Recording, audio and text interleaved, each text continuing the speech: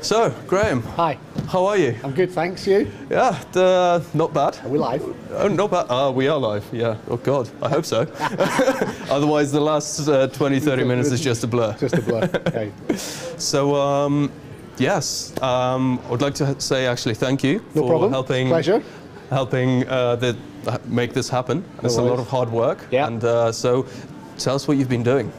In terms of the programme committee? Yes. Yeah. Tell uh, what, what it is, and yeah. like you really, why is this such a, you know, how, what part does it play in creating the congress? yeah, and why it's, is um, so good? I mean, it's a, it's a, you know, a really detailed process and a really kind of inclusive process. Uh, and, a, and a, you know, for me, it's a great way of getting at uh, what produces such great content at a congress.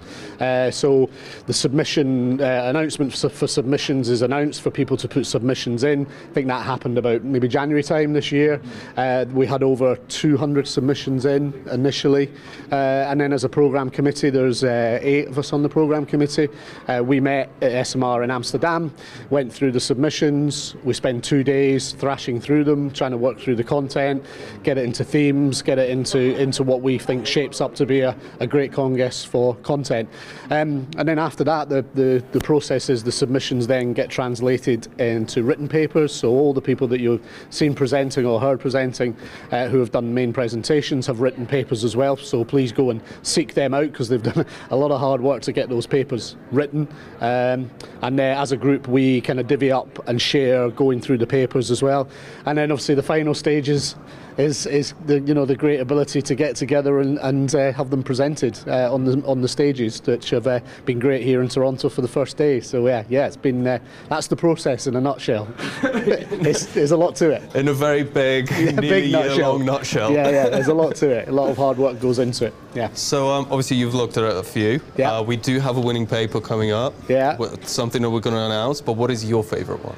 What is your favourite? Oh, uh, well, I obviously yeah, I've got I've, I've got a bit of a sense of, of what's gone in. Look, I mean, I think it, there's just been some great content overall. I think, as I said in my introduction this morning uh, on the main stage, we had a real, really eclectic, uh, broad brush of, of, of inputs when we had the submissions come in, and in a way that makes it really difficult to sort of home in on kind of.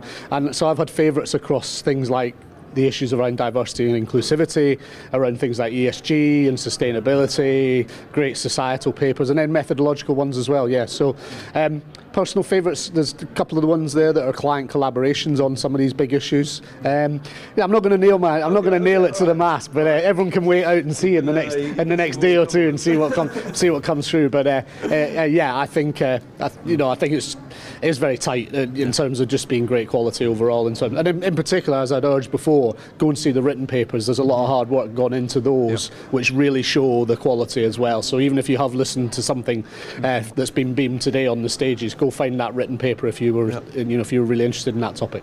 And everything will be available uh, to see. So stick with us. And um, in Congress, we make sure that you get all the information you can.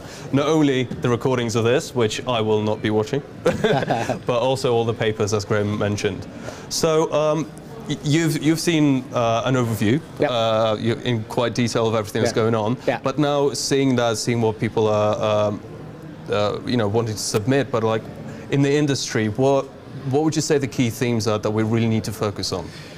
Yeah, I think I'd, I'd leap off the um, some of the stuff on the keynote today, really around the fact that there's a real opportunity for innovation uh, now. Um, I also think that that's really uh, challenging and tricky with the economic environment that we've got, and I think we all understand that. But organisations are looking for consumer understanding to move forward with innovation. Um, you know, I think there's a little bit of a oh, post-pandemic, post-pandemic, but there, you know, that's kind of where we are. And and, and the real the reality is that we've got to help organisations and, and and as an industry to see where consumers are going to jump onto some of the things that might be there for innovation, because there is a great opportunity in the innovation space. I believe. Uh, I certainly see it in my business and the sort of work I'm doing. Um, I would jump on the changes in business models as well that are going on, uh, linking into things like sustainability, ESG. These are all things that big organisations are grappling with at the same time as trying to make short-term profit, but they know they need to do something about it. And I think for us that's fascinating uh, as an industry. It's also very challenging because consumers have an issue with the say-do gap a little bit in terms of what they say they do and what they actually do. Yes. Uh, we need to work with organisations to help them with that. Uh, but there's changes in business models happening for me, uh, which I think is just sort of hugely exciting uh, and exciting for the next generations. For us, they've maybe got a bit more grey hair. uh, you know, I think it'll be for, for the younger researchers coming through, like the Yes Awards guys uh, that we've seen today. Uh, you know, I think there's going to be really exciting times coming out of these changes of business models. And would you say that there's uh, going to be, obviously we don't want to focus on uh, post-pandemic, post-pandemic, Yeah. I mean, you, but in usually in times of strife and, Yeah. and stuff like this, would you say that there's going to be an innovation boom coming out, uh, coming out I, of it? I, think it's an interesting. I wouldn't use the word boom, but there's going to be a concentration on innovation being Okay. uh, a requirement for organisations. Uh, I think they're going to be quite critical of themselves and critique quite hard how to get an ROI on innovation in a way that they maybe haven't before. But that provides a new opportunity for kind of thinking about some of these changes to business models and how that fits with innovation. Um, so I think organisations, uh, you know, corporate, uh, commercial organisations are really in a oh, we need to get innovation right, so let's focus on getting it right uh, in a way that maybe in the past um, it's not been quite at the top of their minds in terms of shareholders putting pressure on them or C-suite putting pressure on them to get it right, which for our industry is interesting because it gives us opportunities to develop new ways to help mm. have the consumer or the stakeholder or whatever, you know, whatever participant within that, within that narrative. So uh, innovation boom, I would call it an innovation uh, emphasis and a real kind of, you know, let's have a real think about how we're helping with that process as an industry uh, because I think it's time for new methodologies, new engagements with consumers, participants, stakeholders on that front. So, yeah, kind of boomish. Okay, all But kind of special. I think we just need to kind of really be thinking about how good we are at this and re- refocus on that. And what would you say the challenges are going to be? What, what is going to be one of the biggest hindrances in it? Uh, I understand there's, going to, there's an economic Yeah. um, situation going on at the moment. I'd go back to the, the, the thing I said before about Yeah. things like say do gaps. You know, Yeah. consumers say, say they'll do one thing and you know not actually do another thing potentially. And we've we've done a lot in our industry to kind of work around that, and we we became you know quite well known for it during the pandemic for helping organisations to kind of get to that human understanding. But I think we've got to work even harder to help with that say do gap for organisations and say, well, if you know consumers say they're going to do this but they're not actually doing it, how do we help them with that? How do we help them?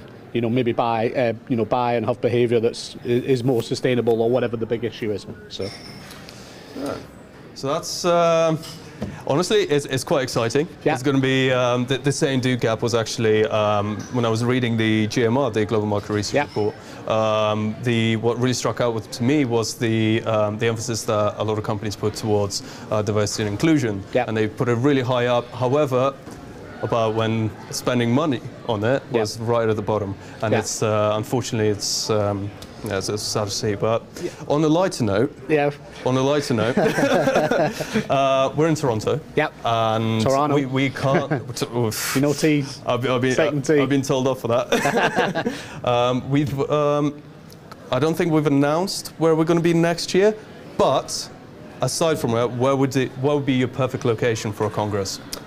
Uh, well, you've been in Scotland recently, and that's my homeland, so I don't think you're going to go back there, back there for a while. Um, look, I'd, I'd, you know, I think the thing that's exciting about this is to see the community back together again, and I don't think it really kind of matters too much, as long as we embrace getting the community back together and, and touch wood, we can do that face to face. Um, I think it's fascinating that I mentioned in my opening speech today we had, we've got 25 countries represented on the on the speakers uh, speakers stage from from the from the committee work. Uh, we've had you know obviously from all around the world we had submissions kind of coming in, and that's exciting, you know. And I think ultimately. Hopefully, somewhere that's kind of has that kind of uh, has that kind of inviting kind of aspect to it, so that everyone from around the world wants to turn up again, like they have here in, in Canada. So yeah, I'm Okay. yeah, which is uh, a long way of saying anywhere's great. Awesome. so uh, I was just hoping you would say Bali, so I can go on a little trip over there. But okay, I guess we'll keep on Yeah, waiting. so I think the, the thing my answer would be Bali. Yeah, Oh, yeah. Okay, great. So uh, you've heard it there. So, um, Graeme, thank you very much. Absolute pleasure. Uh, um, looking forward to the next. Uh, well, uh, finishing off. Are you joining us for the craft beer? I am well. Uh, yeah, I think that would be appropriate, wouldn't it? So- I think I think yeah, it will uh, be. yeah, I think So- everyone's earned it. So uh, yeah, everyone out there, open up a craft beer later. And yeah, Uh. I hope so. I Cheers. hope so. All right. So uh, thank you very much. No problem, And, pleasure. Uh, well, uh, I'll see you soon. See you soon. Cheers, right, everyone. Bye bye.